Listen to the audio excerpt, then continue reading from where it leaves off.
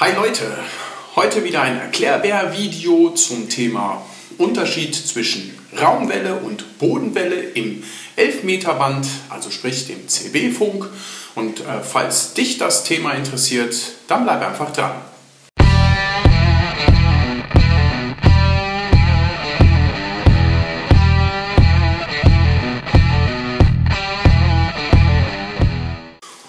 Okay, beim äh, letzten Video hatte ich ja quasi ähm, die Ausdehnungsdiagramme äh, gezeigt, ähm, die Unterschiede zwischen äh, Viertel Lambda, Halb Lambda, Fünf Achtel, weil ich ja selber in der Überlegung war, welche Antenne jetzt für meine Umgebung die beste ist. Und ähm, falls ihr das Video nicht gesehen habt, dann schaut da eventuell rein. Ich äh, verlinke euch das Ganze auch gerne in der Videobeschreibung nochmal. Und äh, ja, jetzt äh, hat sich in dieser Thematik auch die Frage aufgemacht, ja, was eigentlich ist die Bodenwelle? Ja? Und äh, dazu habe ich mich dann extra nochmal belesen. Es gibt da relativ äh, verständliche Bücher drüber und äh, ja, im Grunde genommen ist es ein äh, sehr einfaches Thema und dazu habe ich euch wieder eine kleine Zeichnung aufgemalt die das äh, veranschaulichen soll. Und äh, ja, bevor ich jetzt äh, viel rede, äh, möchte ich euch das ganze Ding erstmal zeigen, dass ihr so einen kleinen Eindruck habt.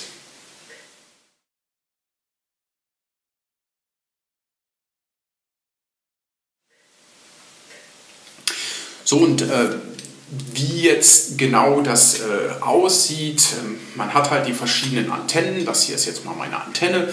Und ähm, beim letzten Mal, äh, das zeige ich euch auch gern nochmal, äh, wieder hier äh, blende ich das nochmal ein, dass man halt die verschiedenen Antennenarten hat. Die 5 äh, Achtel hat eine sehr geradlinige Ausbreitung und dann nochmal die zwei Keulen nach oben. Und die, ähm, die äh, Viertel Lambda, die breitet sich recht ja, wie soll man das sagen, so, so ballonartig aus, also mit, mit einer breiten Ausbreitung, also mit einer weiten Ausbreitung nach da und nach da.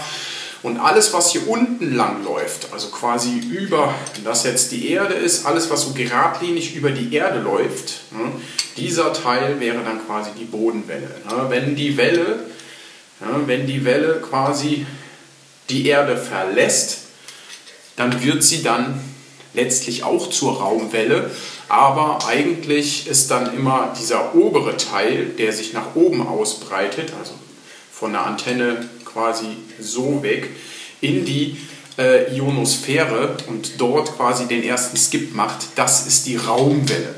Und der Raum, Einfallswinkel ist gleich Ausfallswinkel, also wenn das die Ionosphäre ist, es trifft so ein, dann ist es im gleichen Winkel, geht sie dann auch von dort wieder ab. Und der Raum dazwischen ist quasi der blinde Raum oder der tote Raum.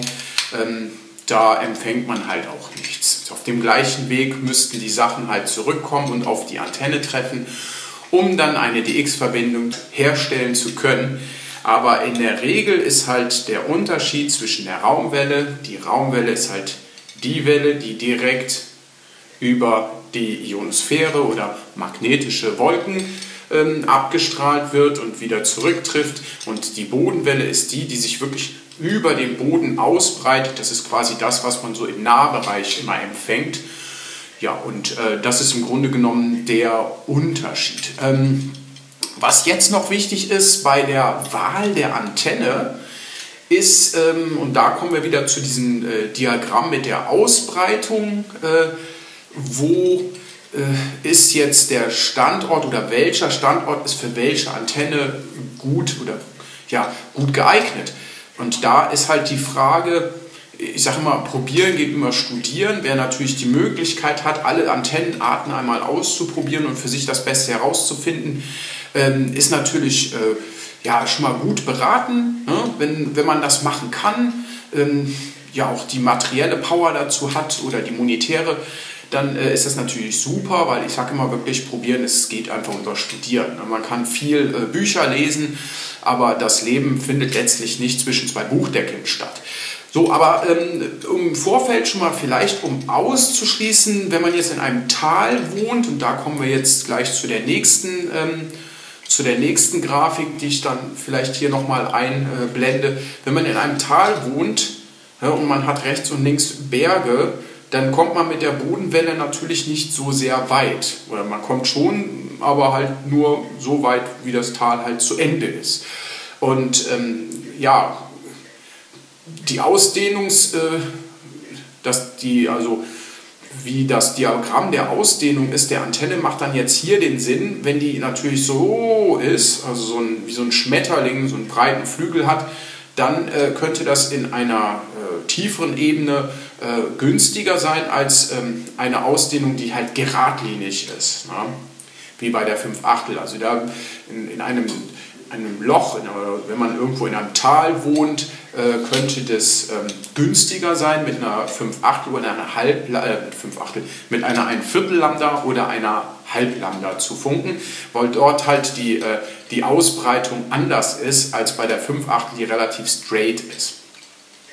Wobei das nichts heißt, wie, wie gesagt, also jede Umgebung ist anders, jeder hat, ähm, ne, also man kann das nicht pauschalisieren, man muss es manchmal einfach wirklich ausprobieren. Aber so vom, vom Grundgedanken her könnte eine Halblambda dann äh, je nach Umgebung besser sein als eine 5 Achtel Lambda. Wer allerdings auf, einer, äh, auf einem exponierten Platz, also auf einer Anhöhe oder ähnlichem ähm, wohnt und äh, da alles ringsherum frei ist, er hat natürlich nach unten, also da hat keine, keine Hindernisse und ähm, der kann natürlich wunderbar dort äh, über die Bodenwelle, aber auch die, äh, die Raumwelle funken. Das ist natürlich dann äh, für denjenigen super. Ne? Meistens wohnen die Leute nicht direkt einzig äh, und allein auf einem Berg. Äh, von daher gibt es da immer Kompromisse. Irgendwo muss jeder für sich herausfinden, was da das Beste ist. Das ist klar. Aber ähm, Eins sollte man sich vor Augen halten, und zwar, äh, jetzt kommen wir zur äh, dritten kleinen äh, Zeichnung, die ich dort äh, für euch vorbereitet habe. Und zwar, wie verhält sich eigentlich die Funkwelle? Und äh, im Grunde genommen kann man sich das im Groben und Ganzen vorstellen, dass sie sich verhält wie ein Wasserstrahl. Der äh, Wasserstrahl, der, wenn man also mit, mit viel Druck einen Wasserstrahl erzeugt, der läuft allerdings immer also endlos. Ne? Es breitet sich aus wie, wie das Licht, also die Funkwelle breitet sich aus wie Licht, also endlos weit. Und ähm, jetzt ist aber im 11-Meter-Bereich, das ist halt ja, eine, eine Welle, die etwas, wie soll man sagen, die, die ist halt so ein bisschen anfällig. Ne? Ultra-Kurzbereich, das äh, kann auch schon mal irgendwo durchgehen.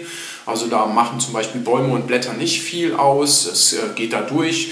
Bei äh, bei Stahl oder äh, Stahlträgern oder äh, ja, dickeren ähm, Gebäuden oder größeren Gebäuden oder ähnlichem, da wird es natürlich auch abgeprallt. Also da hat man schon so seine Probleme.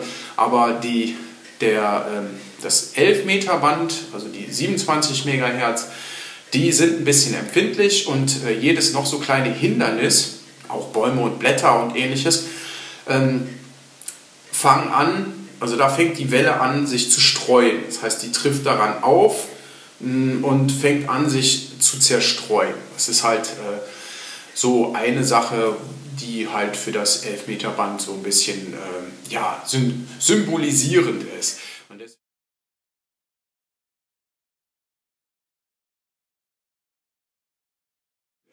Und deswegen ähm, ist es dann schwierig zu sagen, äh, ja, die und die Antennenart ist äh, immer das Beste. Also es gibt da nicht äh, diese, diese Geheimformel X, wo man sagt, damit ist man immer am besten. Dann nützt es auch nichts, äh, mehr ähm, ja, Energie auf die Welle zu geben. der Strahl wird dann zwar stärker quasi, der Wasserstrahl wird dann stärker, aber ähm, das Einzige, was passiert, wenn es irgendwo auftrifft auf ein, ähm, auf ein Hindernis, es spritzt quasi mehr Wasser um, umher und äh, ja, der einzige Effekt, den man dann eventuell dadurch äh, erzielen kann, ist, dass man da durch die, äh, durch, quasi durch die abprallenden, also sehr stärker äh, abprallende ähm, Funkwellengewitter, denn dass dann darüber noch irgendwie äh, ja, Reste bekommt oder dass man da noch irgendwas äh, hört. Aber in der Regel ist es eigentlich äh, gar nicht nötig. Also äh, der beste Verstärker ist eine gute Antenne äh, am richtigen Ort angebracht und äh, ja, das ist quasi so ein bisschen ähm, äh, bezeichnend auch für das 11-Meter-Band. So, ja, und ähm, falls ihr noch äh, Fragen habt zu dem Thema, falls ihr noch irgendwas wissen wollt oder was nicht verstanden habt, dann äh, schreibt es mir äh, bitte in die Kommentare. Ich versuche das so adäquat wie möglich zu beantworten.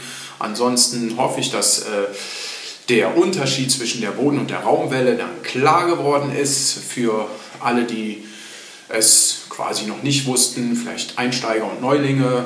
Und ja, ich wünsche euch weiterhin viel Spaß beim Hobby, bleibt gesund und bis bald. Ciao.